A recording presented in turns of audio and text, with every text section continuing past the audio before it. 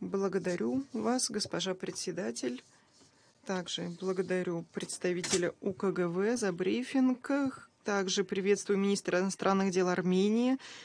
Хотел бы подчеркнуть три э, момента. Первое – ограничение и полная блокада перевозок в коридоре, который связывает Армению и Нагорный Карабах в течение уже восьми месяцев, что и привело к нынешнему кризису. Постоянные блокады этого коридора продолжают изолировать население Нагорного Карабаха от всего мира. При этом нет легитимных причин для оправдания такой ситуации, что противоречит принципам международного гуманитарного права. Эта ситуация наряду с сбоями в поставках газа и электроэнергии, а также э,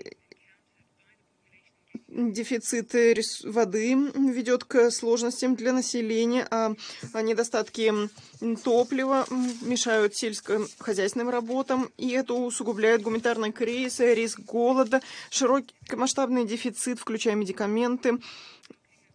Франция сожалеет блок... о остановке гуманитарного конвоя в июле ограничений и препятствия для деятельности МКК и других гуманитарных акторов в нарушении международного права не являются приемлемыми.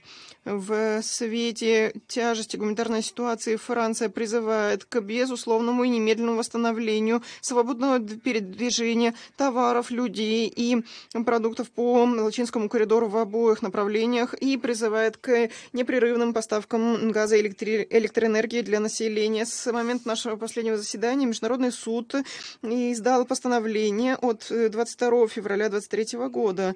Это постановление указывает временные юридически обязательные меры, которые требуют от Азербайджана в соответствии с его обязательствами по Международной конвенции о ликвидации всех форм расовой дискриминации принять все меры, которые возможны для обеспечения ограниченного э, перемещения лиц, э, транспортных средств и товаров по Лачинскому коридору в обоих направлениях. В своем постановлении 6 июля 2023 года, отмечая э, тяжесть ситуации между сторонами суд подтвердил необходимость э, в немедленного осуществления мер, указанных в постановлении 22 февраля 2023 года. Как отметил генеральный секретарь 2 августа, Франция вновь призывает Азербайджан соблюдать его международные обязательства и осуществлять временные меры, указанные Международным судом. В свете тяжелой ситуации Франция приветствует деятельность МКК на местах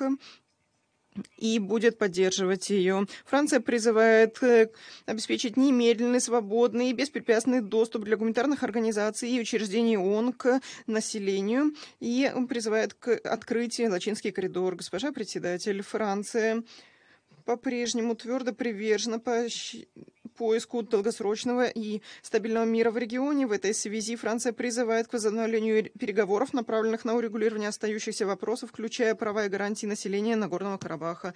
Такое регулирование может, возможно только посредством диалога и исключает любое использование силы или угрозу применения силы вместе с Евросоюзом. Франция будет продолжать усилия по поддержке диалога между Арменией и Азербайджаном. Мы полностью поддерживаем и участвуем в усилиях по посредничеству под руководством ЕС, чтобы а, поддержать процесс нормализации. Мы поддерживаем поиск прогресса по всем вопросам в рамках переговоров, включая проект мирного договора, делимитацию границы, гуманитарные вопросы и открытие каналов коммуникации. Франция готова содействовать этим целям э, при поддержании контактов со всеми сторонами и акторами. Благодарю вас. Я благодарю Францию.